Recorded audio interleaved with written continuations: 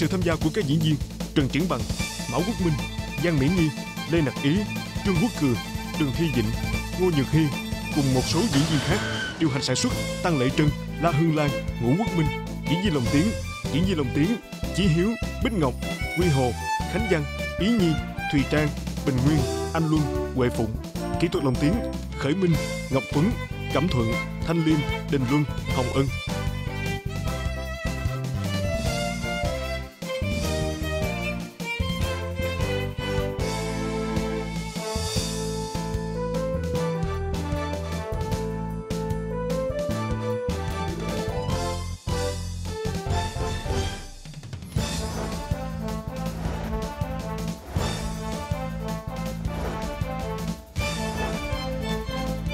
Bộ phim Hành động đêm chính 2016 Tập 1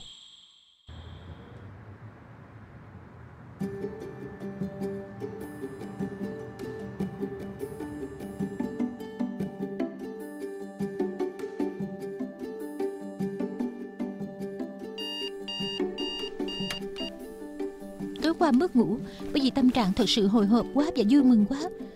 Tôi lớn lên trong một gia đình hạnh phúc, tin tưởng liêm khiết và pháp trị là giá trị trọng tâm của Hồng Kông. Lý tưởng của tôi là gia nhập ICAC.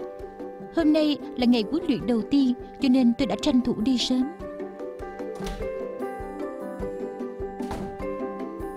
Tuy ICAC đã nhận tôi rồi, nhưng nếu không thông qua huấn luyện thì không được ở lại nữa.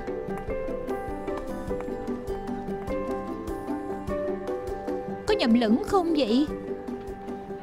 Tạm ngừng phục vụ hành khách Tàu điện ngầm gặp sự cố Giao thông khu vực đảo Hồng Kông bị tê liệt Đi đâu cũng bị kẹt xe. Sao mà kẹt dữ vậy? Bác Tài à làm ơn cho xuống ở đây đi.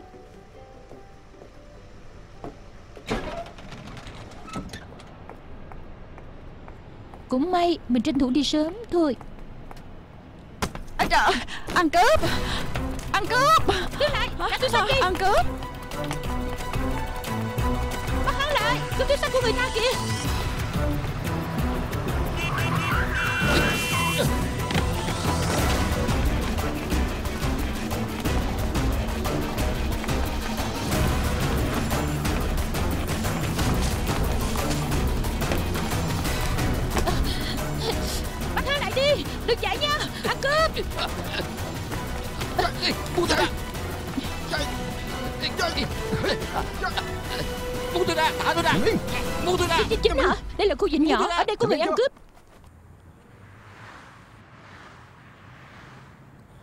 Khóa huấn luyện 3 tháng.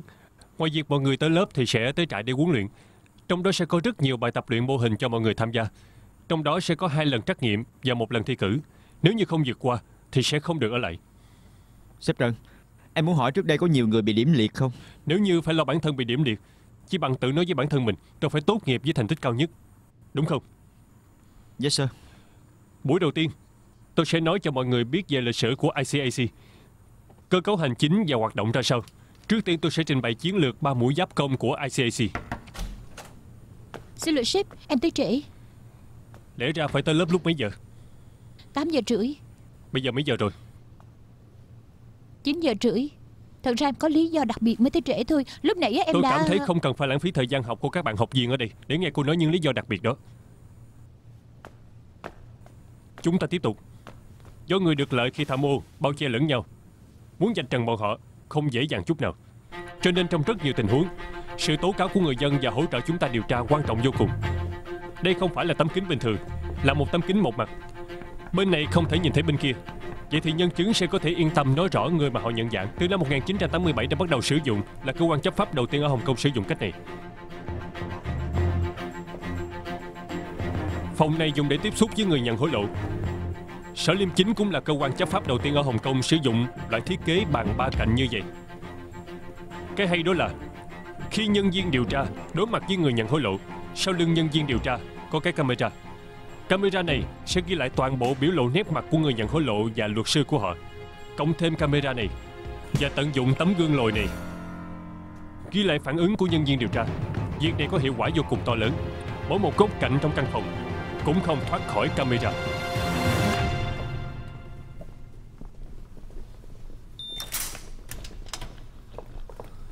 Chân đau không thể đi có thể quay trở về lớp ngồi nghỉ Còn không thì xin nghỉ. Sếp em có thể tiếp tục. Muốn là một nhân viên điều tra nổi bật Phải biết cách xoay sở. Chân đau đi không được Có phải nên tìm cách làm sao giải quyết hay không hả? Xin lỗi có thể cho tôi mượn cái ghế được không? Ờ cũng được. Nè cô ngồi lên đi tôi đẩy cô. Cảm ơn cô. Từ từ thôi.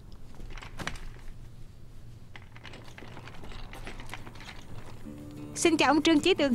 Tôi là chủ nhiệm điều tra cao cấp của Sở Liêm Chính Âu Văn Vĩnh Đây là chủ nhiệm điều tra Hà Đạt Minh. Cảm ơn ông tố cáo tham ô và hỗ trợ điều tra. À không có gì. Đó là trách nhiệm của tôi. Lần này gặp mặt là muốn ông cung cấp lại tình hình chi tiết về người hối lộ mà ông đã tố cáo. Cô Hà Mỹ Phần có phải không? Ờ. Làm ơn giấy chứng minh. Ờ.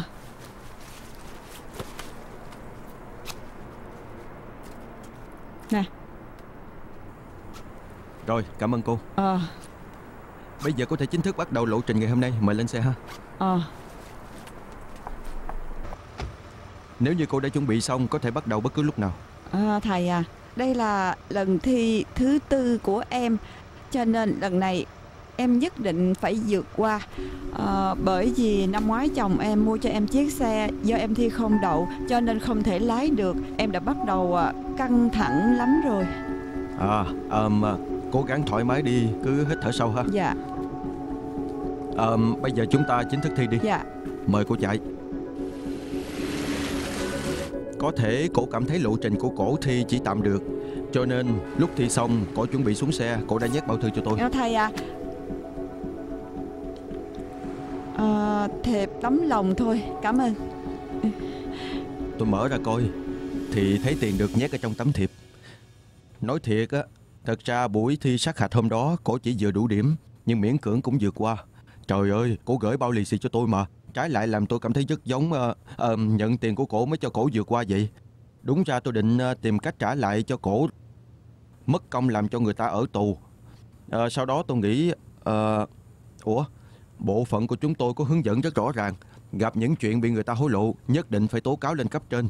Cho nên cấp trên đã chuyển vụ này qua cho ICAC của các vị. Ông làm đúng lắm. Tố cáo tham ô trách nhiệm của mỗi người. Nếu gặp chuyện tham ô cũng không chịu tố cáo. Không khí xã hội sao mau chóng quay về như lúc trước vậy? Hồng Kông được cái có ICAC mà. Được cái là có mọi người.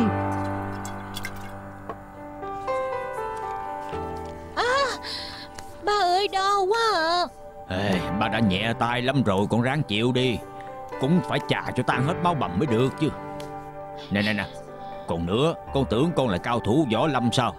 Đàn bà con gái đi học người ta bắt cướp Lỡ cướp có dao đâm con một nhát tính sao đây? Trời ơi bịt miệng ông lại đi nói lung tung mà Bây giờ ông dạy con hay nguyền rủa con vậy để tôi làm cho vô bếp Hả? rửa rau đi. Được rồi đi đi. Có đi được đi. không đó? Đây đây đây đây đây đây đây. Để con làm cho bác gái. Lát nữa nấu cơm tay cô bác phải xuống nước đó. À hờ, đúng rồi. Thằng Phú sắp về rồi bắt vô xào luôn đồ ăn cái đã. Ừ. Cảm ơn chị hai. Nè nhẹ tay chút đi. Được thôi. Ôi trời ơi Ra tay nghĩa hiệp là rất tốt Nhưng cũng phải học cách bảo vệ bản thân. Em có lòng bắt cướp cho bà lão thôi mà. Sau đó còn phải báo cảnh sát Lấy lời khai. Cuối cùng mới bị trễ giờ học thôi. Sếp Trần đó đó Không có chút tình người gì hết à. Cũng không cho em thời gian giải thích. Con người của anh Nhân lạnh lùng Nhưng thật ra cũng lịch thiệp lắm. Làm việc nổi tiếng liều. Em đó ráng cố gắng theo người ta học hỏi đi. Em, em sẽ ráng cố gắng. Nhưng mà Chị hai à Chị có thân với ổng hay không? Hay là chị giải thích giùm em đi. Thân lắm. Nhưng ICAC có một nguyên tắc rất quan trọng Đó là phải công tư phân minh. Chị không gì có quan hệ thân thuộc với em mà giúp em đi giải thích với ảnh. Em tự mình tìm ảnh giải thích đi. Còn nữa Tới văn phòng em đừng gọi chị là chị hai nữa. Bình thường cũng đừng có gọi Chị chưa phải đâu. Trước sau chị cũng làm dâu nhà họ mã này mà. Hơn nữa cả đời anh hai em Cũng không thể nào tìm được người vợ nào tốt hơn chị nữa đâu Đành rằng con người của ảnh nó kỳ lạ khó hiểu lắm. Lại không biết lãng mạn nữa Nhưng mà hình như ảnh cũng Hình như anh nghe có người nói xấu anh đó. Làm gì có Những gì em nói hoàn toàn là sự thật đó. Ồ Anh biết em bị té trật chân Đang bị đi mua món bánh em thích nhất cho em ăn đó. Em đứng sau lưng của anh Trước mặt chị dâu của em Bôi nhỏ anh. Ôi, Quá mềm lòng Cũng biến thành quá đau đớn rồi Bỏ đi cho rồi. Nè Em biết anh là người đàn ông tốt nhất ở trên đời này mà.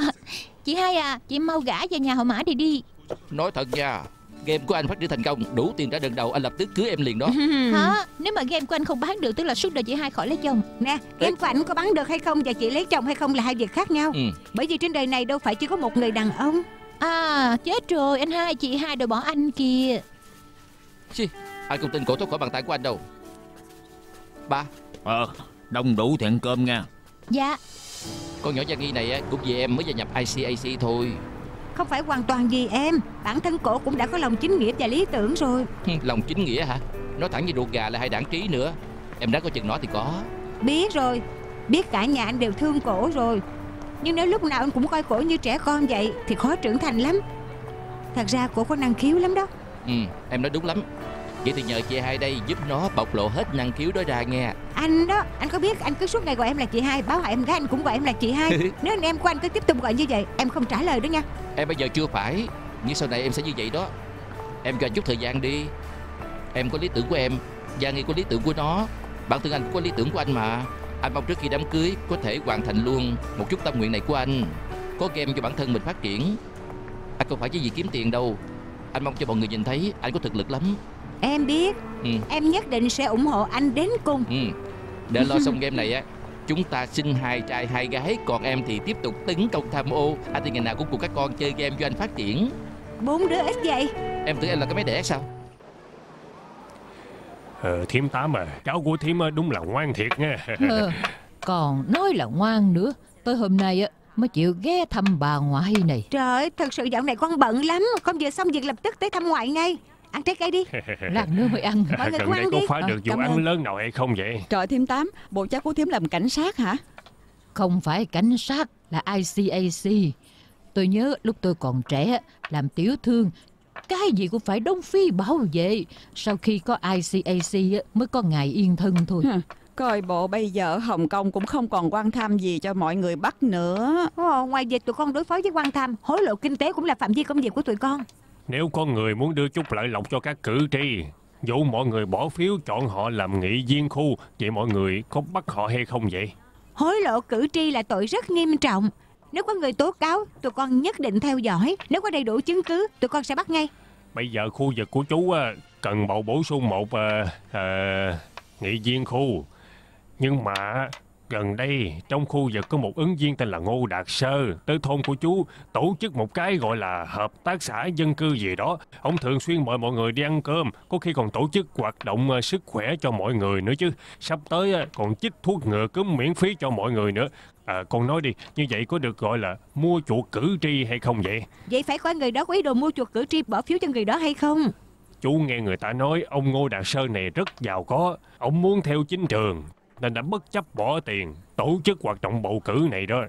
Không chừng ổng thật lòng muốn phục vụ bà con chúng ta Nhưng mà chưa bao giờ nghe nói ông có diễn thuyết gì, ông bày ra nhiều trò, có phải muốn mua chuộc phiếu bầu của mọi người hay không?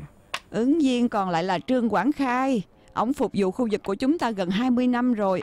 Ông rất siêng năng, hơn nữa còn rất nhiệt tình với bà con chúng ta. Lại biết rõ khu này, tôi nhất định bỏ phiếu cho ổng. Ông Ngô Đạt Sơ gì đó không dám đâu. Ừ. Không cần lo quá, Bầu cử Hồng Kông có quy định luật pháp rõ ràng, Có cấu thành hối lộ hay không phải nhìn vào sự thật, Không phải chỉ vài lời nói thì có thể khẳng định.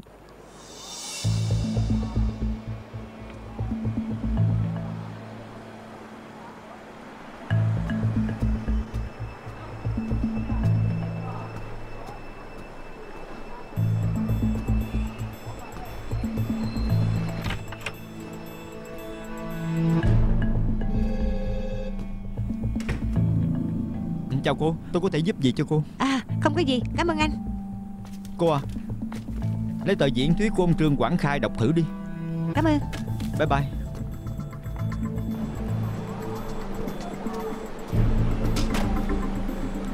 Chào cô, có giúp được gì cho cô không? À ban ngoại của tôi là dân cư ở thôn Đức Dân Nghe nói tuần sau mọi người có buổi tọa đàm về sức khỏe Ừ hứ. Với lại chích thuốc ngừa cúm cho người già Tôi tới hỏi thăm giùm thôi À. Phải đó, ở đây có tờ rơi tuyên truyền Trên đó có ghi rõ ngày giờ. Cô có thể đưa bà của cô tới bất cứ lúc nào. Cô đọc thử ha. Có phải do đích thân bác sĩ Ngô Đạt Sơ chích cho ngoại tôi không? À, tới lúc đó bác sĩ Ngô cũng có mặt. Được cảm ơn. Ok, bye bye. Bye bye Bye bye.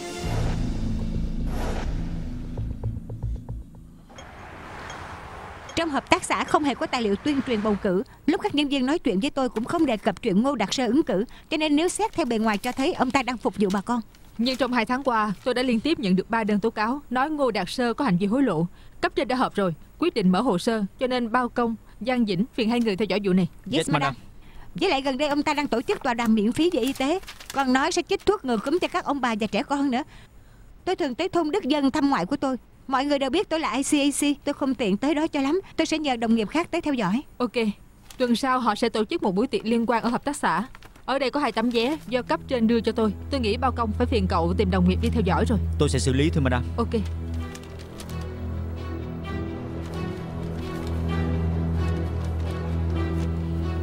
Tối nay chị tính tiền nước và tài trợ tặng phẩm giá trị. Em cũng tiết kiệm cho anh cả trăm ngàn. Thử hỏi không có em làm sao mà được chứ? Hả? Uống trà đi. Tự nhiên nói những chuyện đó Người trong nhà mà. Nhưng có một chuyện em muốn nhắc anh. Lát nữa gặp đám người đó Cố gắng kính tiếng. Chỉ cần hỏi thăm vài câu xã giao một chút là được rồi. Đừng nhắc chuyện bầu cử nha. Cho dù họ chủ động nhắc tới Anh cũng không được lên tiếng kêu họ hết lòng ủng hộ. Không phải chứ Nè. Bác sĩ Ngô chị Quyên. Ừ. Vụ này anh tốn rất nhiều tiền Bày ra nhiều trò như vậy. Ngay cả bốn chữ hết lòng ủng hộ cũng không được nói sao? Có cần kính tiếng tới vậy không? Chính vì anh đã tốn quá nhiều tiền Đã vượt quá giới hạn kinh phí bầu cử rồi. Không thể để họ cảm thấy vụ việc lần này Là hoạt động tuyên truyền bầu cử Chúng ta bày nhiều trò.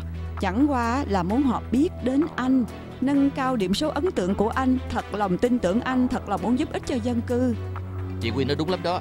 Anh là bác sĩ mà. Nên cẩn thận hay hơn. Đến lúc đó tổ chức tọa đàm về sức khỏe Có thể danh chính ngôn thuận nói nhiều hơn nữa. Còn có thể tiếp xúc cử tri ở khoảng cách gần nữa. Nhớ nha. Bất cứ hoạt động nào do hợp tác xã tổ chức Cũng không được trực tiếp nhắc tới bầu cử. Được rồi em nói nhiều lần lắm rồi Nè anh chỉ nói với em một lần thôi. Trong vụ này anh nhất định phải thắng. À, cạn cạn à, Rồi rồi rồi. À, Cảm ơn nhiều nha. À, Uống thêm đi. à, vô. à, Xin chào mọi người uống thêm đi Uống thêm đi. Này nè uống thêm ha. À, Uống thêm uống thêm. Anh Ngô? À, Xin mời. À, Uống thêm uống thêm được cái sáu nha cạn à, cạn à, Cạn cạn cạn cạn Di cá ngon lắm mà Không phải là di cá bán lẻ ở lề đường đâu. Phải ngon lắm bỏ nhiều tiền. Người ta nói đùa gà nhai đến ê răng. Trời ơi bây giờ gì cá đánh với hàm răng Tức là xúc nguyên cả hàm rồi. Dù sao hàm răng của anh cũng là giả rồi Rút ra thì gắn lại. Dạ cảm ơn. Tôi không ăn đâu. Tôi cũng Ủa? vậy. Sao hai người không ăn di cá đi? Chúng tôi vì bảo vệ cá mập Bỏ ăn gì cá lâu rồi. Ồ, Ờ Vậy thì à, đừng bỏ uổng Toàn thêm một chén nha. Tự nhiên tự nhiên. Cá mập đó không chết cũng đã chết rồi. Cho chúng chết có giá trị một chút đi. Thêm tám ăn thêm đi Thôi đủ rồi Tôi không có thể ăn nhiều quá được đâu. Bản thân chị tham ăn thì tham ăn đi Nói nhảm nhiều quá làm gì? Ngon lắm. Cậu Uy Ừ. Tới giờ rồi.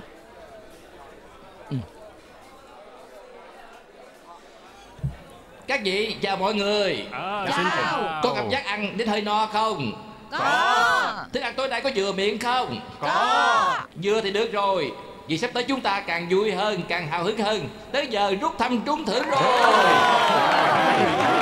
Nè vì muốn mọi người vui vẻ hơn Trước khi rút thăm tôi muốn nói cho mọi người biết Tặng phẩm mà ai cũng có phần.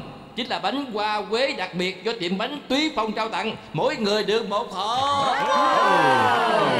Có phải bây giờ mọi người đã muốn nhận được món quà giá trị này hay không? Phải. Chúng ta bắt đầu rút thăm nha Mời cách mời rút thăm của chúng ta Chủ nhiệm hợp tác xã khu dân cư Đức Dân Bác sĩ Ngô Đạt Sơ Mời bác sĩ Ngô Cho bác sĩ Ngô một tràng pháo tay đi Bác sĩ Ngô Có phải em định nhân cơ hội này nói gì lại với mọi người không?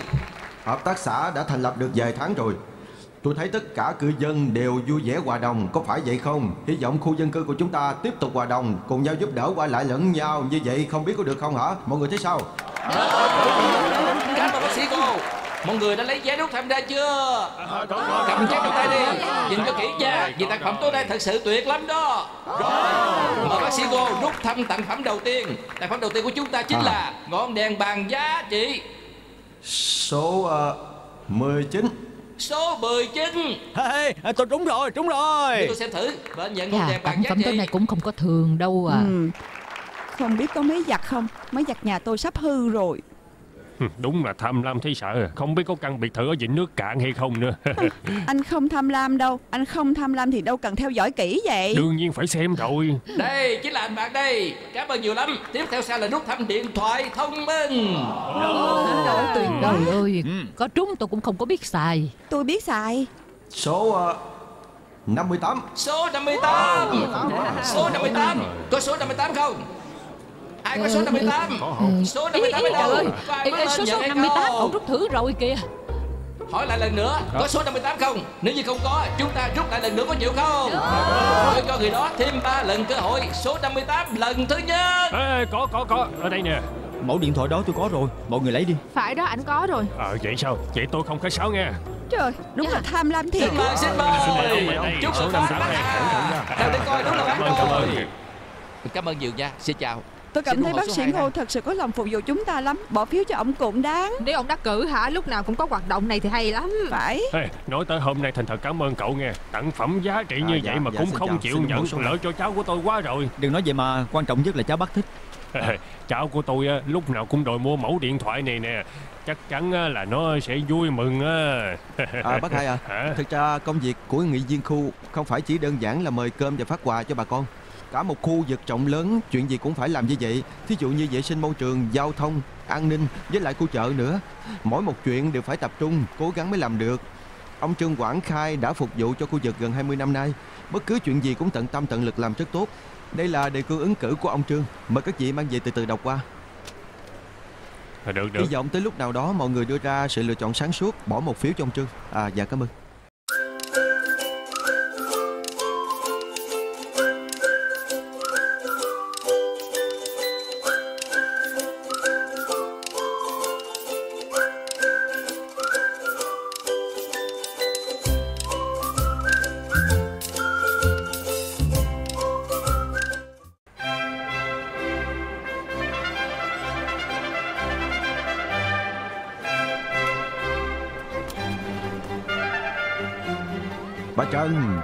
chào bà nè nhớ nha Nhớ coi nha nhớ coi nha nhớ coi nha.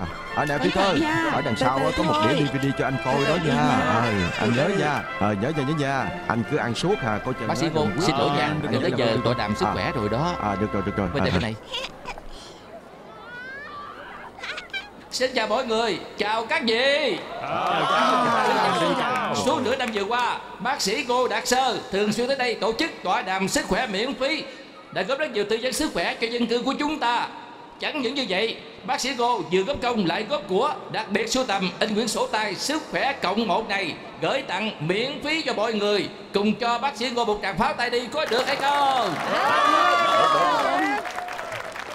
Bây giờ bác sĩ Ngô đã tới đây rồi. Hay là mời bác sĩ Ngô đích thân giới thiệu với chúng ta Về quyển sổ tay sức khỏe cộng một này nha. À phải phải. Cảm ơn cảm ơn.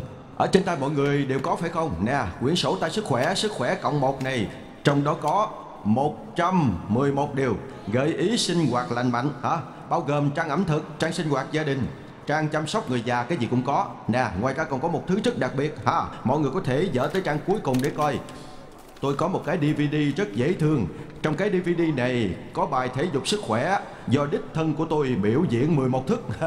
Tôi biết 11 thức trong bài sức khỏe này Do bác sĩ Ngô Cùng một nhóm chuyên gia vật lý trị liệu Đặc biệt thiết kế cho dân cư của khu chúng ta.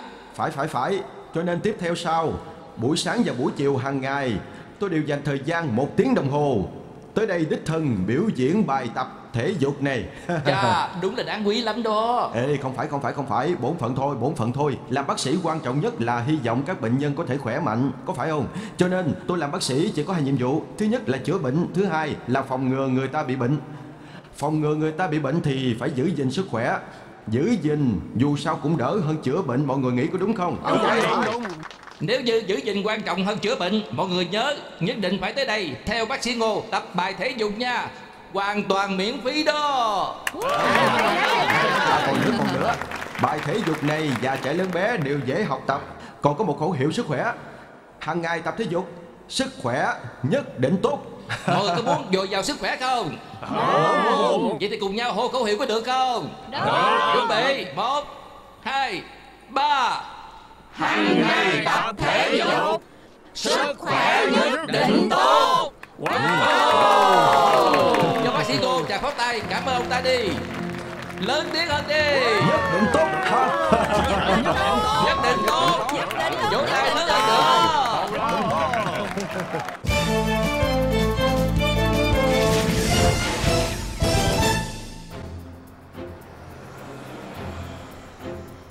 Từ lúc chúng tôi bắt đầu điều tra đến hôm nay, chỉ trong 2 tháng ngắn ngủi, chứng kiến Ngô Đạt Sơ tổ chức hoạt động bao gồm dạ tiệc sang trọng, ăn tiệc hải sản, tiệc mặn. Những hoạt động này gần như thứ bảy chủ nhật hàng tuần đều có. ngoại trừ chuyện này, Hàng tuần ông ta đều thuê lại hội trường khu dân cư khu đó với hợp tác xã khu dân cư tổ chức một số tọa đàm sức khỏe, cung cấp kiểm tra sức khỏe miễn phí cho người già và trẻ em và chích thuốc ngừa. Đại đa số những hoạt động và yến tiệc này đều không cần tốn tiền, thu phí dự tiệc cũng chỉ mang tính tượng trưng. Ba tháng trước khi Ngô Đạt Sơ đăng ký ứng cử, ông ta đã bắt đầu lập quỹ tổ chức hoạt động. Cho đến cuối tháng trước, chúng tôi đánh giá sơ bộ, ít nhất ông ta đã tốn hơn một triệu. Hơn nữa những hoạt động này đều nhắm vào người bỏ phiếu cho ông ta. Dựa theo quy định pháp luật về bầu cử, kinh phí tuyên truyền phải có giới hạn. Nếu như vượt quá, tức là phạm pháp. Nếu không, những người giàu có ra ứng cử sẽ tiêu tốn tiền bạc để tuyên truyền. Còn những người ứng cử không có khả năng lắm, cho dù có lòng, có năng lực cách mấy cũng không được, do không đủ tiền làm tuyên truyền, làm cho bản thân bị thất thế. Ngô Đạt Sơ tổ chức nhiều hoạt động, thật ra đã hoàn toàn vượt quá giới hạn về kinh phí bầu cử là 48 ngàn rồi. Mọi người có để ý hay không? Trong số những hoạt động này, bản thân Ngô Đạt Sơ và nhóm hỗ trợ cho ông ta chưa bao giờ đề cập tới chuyện ứng cử của ông ta, cũng không kêu ai ủng hộ ông ta hay là bỏ phiếu cho ông ta. Ở tất cả những địa điểm hoạt động này, chúng ta chưa bao giờ thấy có bất kỳ tài liệu tuyên truyền hay áp viết tờ rơi nào tuyên truyền, có phải như vậy hay không? Phải không? Có nghĩa là cho dù hợp tác xã của họ tốn bao nhiêu tiền cũng được Họ cũng nói là không phải là kinh phí bầu cử Nếu không trực tiếp lôi kéo những lợi ích của họ đưa ra Cũng chỉ phục vụ cho dân cư thôi Vậy thì rất khó khẳng định họ có lôi kéo hay không Hay là có phải là mua phiếu bầu hay không Họ đã rất khéo léo không trực tiếp tuyên truyền quảng cáo trong các hoạt động. Nhưng mà thật ra đã đạt được hiệu quả lôi kéo rồi. Bên cạnh Ngô Đạt Sơ có một quân sư, bao công. Lý Minh Quyên, em họ của Ngô Đạt Sơ, là luật sư chuyên nghiệp, từng trải qua hai kỳ dân bầu nghị viên khu, nắm rất rõ phương hướng luật pháp. Anh vì muốn làm cho cử tri có thiện cảm với anh Có thể bỏ phiếu cho anh. Ít nhất anh cũng đã bỏ ra hơn một triệu rồi. Nè bây giờ em nói cho anh biết đi Bây giờ phần thắng của anh cao cỡ nào? Chắc chắn phần thắng đã nâng cao đáng kể. Nè bản thân anh cũng thấy rồi đó. Anh bước tới đây các dân cư đều biết rõ Anh còn chào hỏi anh nữa. Nhưng mà anh phải hiểu Đối thủ của anh là dân cư của khu này Ông ta phục vụ người dân ở đây 20 năm rồi, Có tình cảm sâu sắc với dân cư ở đây. Từ lúc anh quyết định hạ cánh xuống khu này để tham gia bầu cử, có lẽ anh cũng biết là một trận ác chiến rất khó đánh mà. Phải, anh hiểu.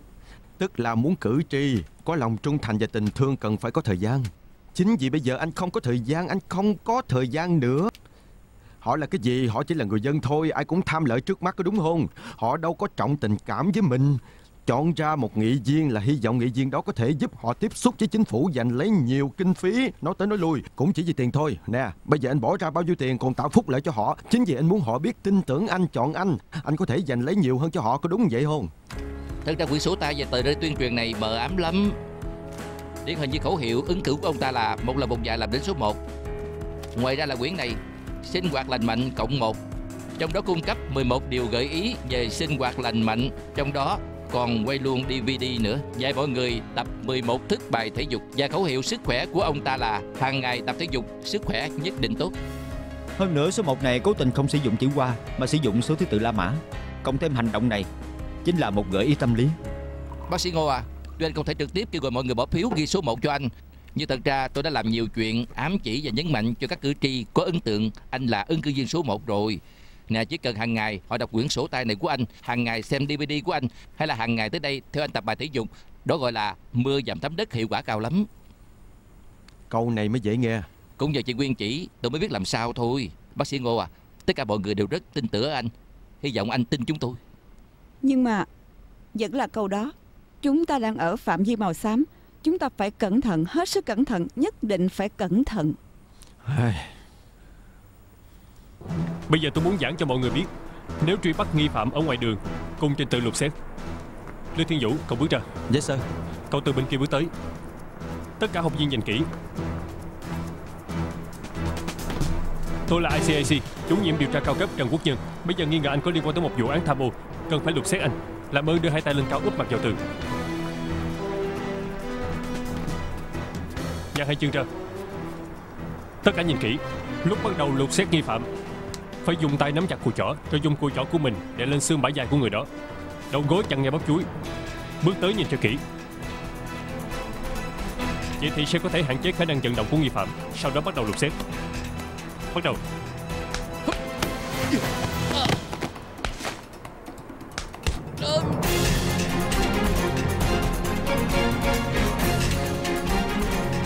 Viên mọi người phải ghi nhớ. Trong lúc chúng ta lục xét Cần phải tiến hành trong phạm vi quan sát của nghi phạm. Hy Văn Cô thử tiến hành kiểm tra vật chứng như thế nào? Chứng được Cậu đóng giả nghi phạm. Yes sir.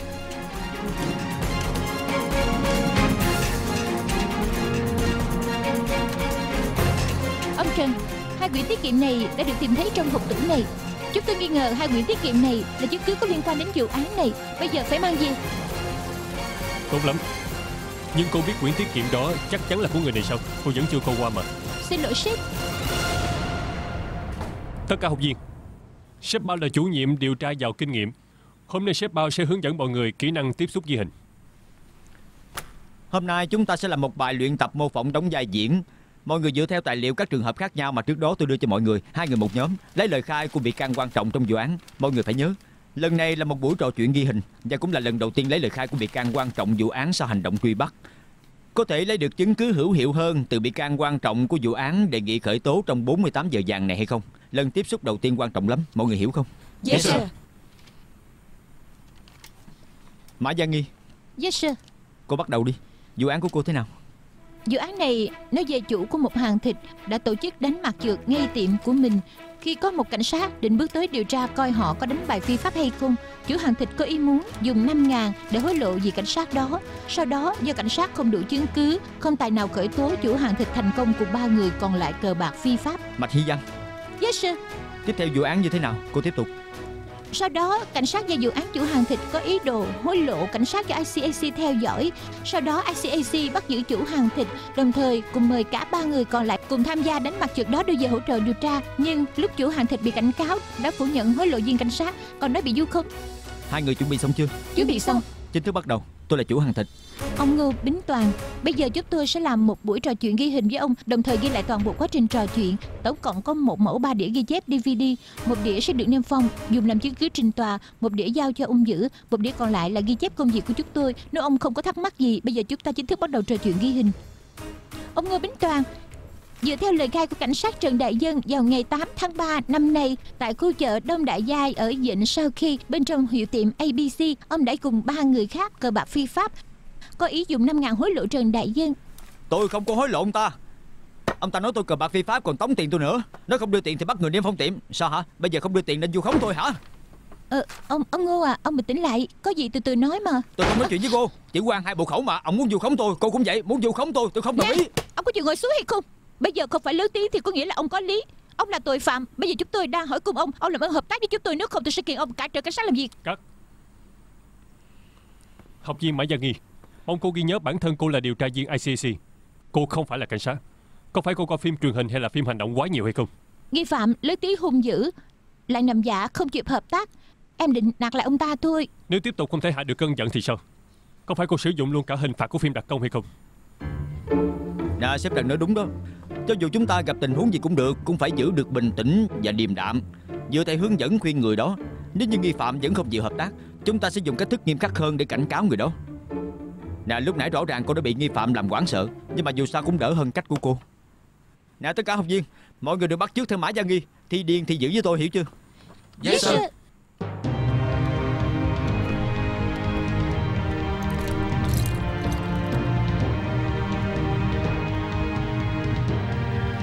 Mã Gia Nghi Sếp, Giày của cô bị đổ chì hay sao? Đưa cao lên. Cô đang nghĩ gì vậy? Leo lên đi. Đừng nhìn xuống dưới Nhìn lên trên. Leo lên. Học viên nam Hít đất 50 cái. Học viên nữ Hít đất 30 cái. Bắt đầu. Mã Gia Nghi Hít thêm 20 cái. Tại sao vậy? Lúc nãy cô đã chậm hơn 5 phút so với thời gian quy định. Cô không đủ thể lực Phải tập luyện thêm Sếp à, em đã ê ẩm khắp người rồi, không phạt có được hay không? Làm hay không Cô tự mình quyết định Nhưng cô có thể tốt nghiệp hay không Là do điểm số của cô quyết định.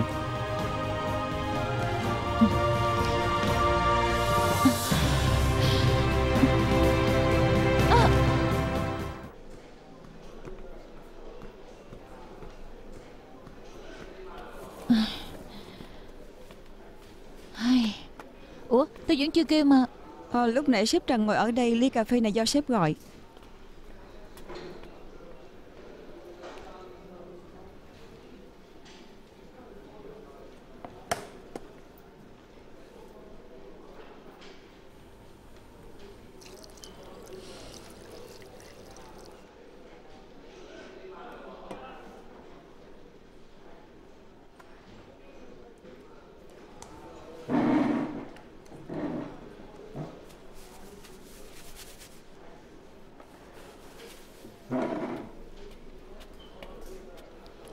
Hot đó có ngon không ừ, Thử đi mới cắt ra thôi. Ừ, Thử cái đã.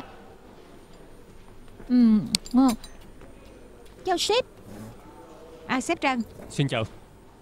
Sao hả? Tới đây huấn luyện có mệt không? À cũng hơi hơi. Mệt vô cùng. Xác định rồi. Mệt hả? Bây giờ chỉ là chuyện nhỏ mà thôi. Sau này ra ngoài điều tra Mọi người mới biết thế nào là cực khổ. Sắp trắc nghiệm rồi. Ráng chuẩn bị đi. À, Trời ơi. À xin lỗi Xin lỗi. Không sao chứ Có phun trúng cô hay không? À, Không sao không sao. Tôi đi toilet nha.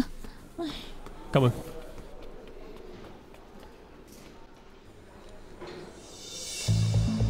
Xin ủng hộ số 1 Bà cầm tờ rơi này coi thử đi.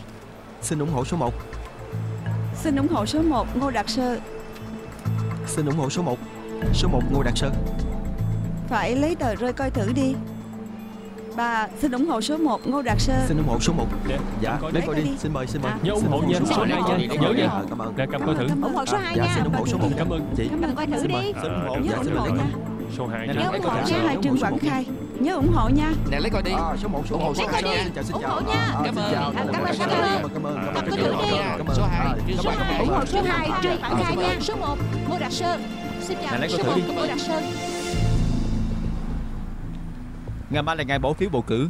Ngô Đạt Sơ thông qua hợp tác xã dân cư tổ chức chuyến du lịch giả ngoại. Nghe nói có nhiều người tham gia lắm Có tới 6-7 chiếc xe du lịch lần. Đây là tờ lịch trình Vừa được chơi vừa được ăn. Nào tôi nhận được thông tin Ngày mai sau chuyến du lịch Sẽ trực tiếp chở họ tới trạm bỏ phiếu bầu cử. Rất nhiều ứng cử viên gia xảo thích nhất là tổ chức một số hoạt động trong ngày bỏ phiếu, sau đó cho xe chở hết bà con đi bỏ phiếu. Làm vậy tức là biến tướng hối lộ Rất nhiều người nói tôi không trực tiếp kêu bà con chọn tôi, tôi vẫn cãi được. Nhưng mọi người nghĩ coi, ban đầu Ngô Đạt Sơ đã hạ cánh đến khu này, ông ta đã thành lập hợp tác xã, tuần nào cũng tổ chức hai buổi tiệc tùng. Sau đó gần như hàng ngày đều tổ chức chuyến du lịch. Ông ta bày nhiều trò tốn không ít tiền. Quan trọng nhất là mỗi lần hợp tác xã tổ chức hoạt động đều nhắc đến số 1, còn ông ta là ứng cử viên. Tôi thấy ông ta rất khó giải thích với quan tòa đó không phải là hoạt động ứng cử. Thật ra ông ta đưa ra nhiều lợi lộc Cử tri cũng cần phải cẩn thận Đừng rơi vào cạm bẫy hối lộ này Nhưng đáng tiếc, đa số người đều tham lam. Ê nè. Có chuyện gì? Nè tôi ra ngoài nghe các nhân viên nói Bây giờ thăm dò của tôi và Trung Quảng Khải xê xích nhau không bao nhiêu. Bác sĩ Ngô yên tâm đi. Ngày mai trong chuyến đi du lịch tôi sẽ cùng với các nhân viên tăng thêm mức độ tuyên truyền Để cử tri chơi vui vẻ hơn. Sau đó chúng ta mới kiếm một xe du lịch Chở họ tới trạm bỏ phiếu. Đi chơi vui vẻ Tự động cũng sẽ bỏ phiếu cho ông thôi. Tối nay về nhà ngủ sớm lấy lại tinh thần Sáng sớm ngày mai thức dậy lôi kéo lần cuối Em ngủ được hay sao anh không ngủ được đâu Tự tin đi Hôm nay mọi người chơi có vui vẻ không? Tìm hải sản lúc nãy có ngon không? Ngon Nè tôi muốn hỏi mọi người một câu này trong số tất cả mọi người có ai đã đăng ký làm cử tri không? Mời giơ tay. Dạ, đông người quá. Mọi người có nhớ hôm nay là ngày bỏ phiếu ở khu vực của chúng ta để bầu bổ sung nghị viên khu không? Tôi muốn mọi người làm tròn trách nhiệm công dân. Sau khi về tới nơi, nhớ bỏ phiếu xong rồi mới về nhà để tạo điều kiện cho mọi người bỏ phiếu. Lát nữa xe du lịch của chúng ta sẽ chạy tới trạm bỏ phiếu gần lại để mọi người xuống xe đi bỏ phiếu có được không? Nè Không lẽ cậu muốn chúng tôi bỏ phiếu cho số 1 của cậu hả Nè bác Hà con á, không phải là nhóm hỗ trợ của bác sĩ Ngô. Con không lôi kéo cho bác sĩ Ngô đâu. Con cũng giống như mọi người vậy đó. Cũng là cử tri. Nhưng mà nếu như bác hỏi con Thì con sẽ nói, con nhất định bỏ phiếu cho bác sĩ Ngô. Tại sao vậy? Bởi vì sau khi con gia nhập hợp tác xã dân cư để làm việc, Đích thân con đã nhìn thấy bác sĩ Ngô Luôn tận tâm tận lực phục vụ dân cư. Cho nên con tin tưởng ông ta lắm. Nè đó là lựa chọn của cá nhân con thôi. Con tin chắc mọi người thông minh như vậy nhất định có thể chọn ra một người có nhiệt tình Có tình thương, có năng lực Để phục vụ cho người dân đúng không? à, Cảm ơn cảm ơn Cảm ơn số 1 Bộ để số 1 Số 1 Số 1 Số 1 Em số hộ Số 1 số 1 số 1 Số 1 Số 2 nha Cảm ơn Nhớ số 2 À, nhớ số 1 nha, nhớ số 1 nha. Dạ, số 1 cô Đạt Sơn. Dạ, tôi. Dạ, dạ, cảm ơn. Đi thông thả, đi thông thả, cảm ơn, cảm ơn. Dạ, dạ, dạ, xin mời Dạ, cảm ơn mọi người. À, xin chào mọi người. Nhớ ủng hộ số 1 nha. Tới rồi, tới rồi, xuống đi Nè, trạm bỏ phía đằng kia Tự nhiên không cần cấp đâu Cảm ơn Đã đằng trước thôi À, lấy sẵn cái chứng minh nha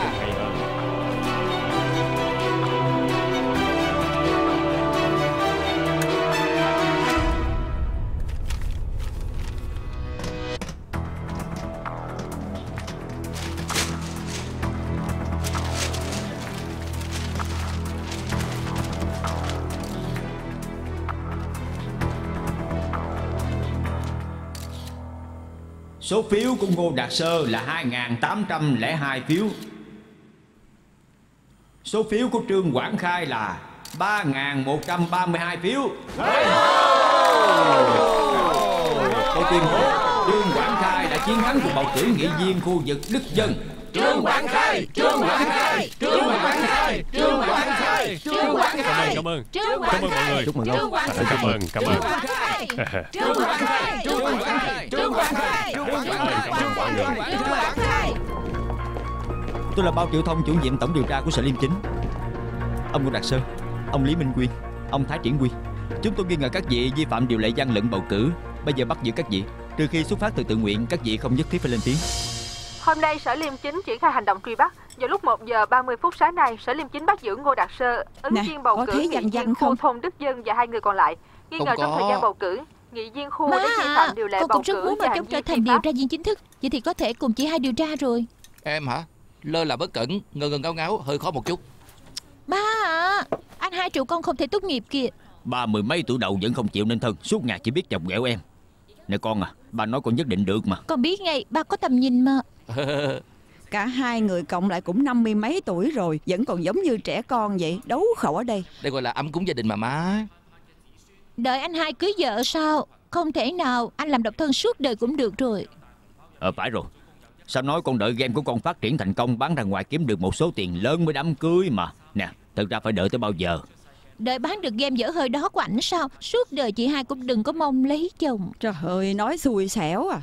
Nè Phú à Tiền á, thì má và ba con có rồi. Ba má có thể cho con mượn trước.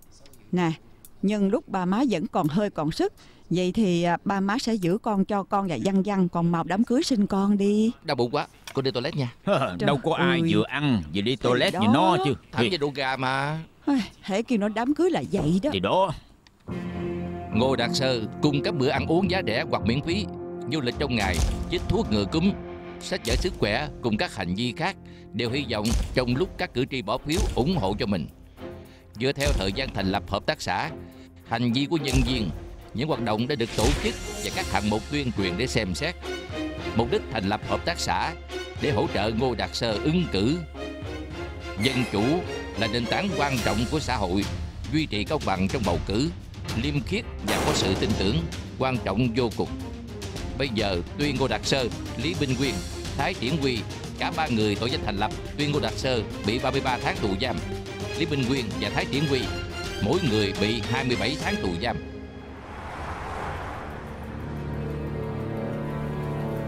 Cho hỏi ông có chuyện gì? À tôi tới tố cáo À mời theo tôi qua bên này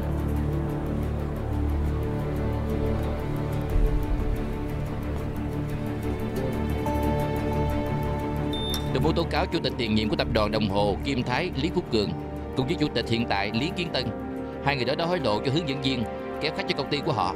Còn nữa, cha con bọn họ thông đồng với giám đốc tài chính làm sổ sách giả trốn thuế lấy cắp tiền của công ty.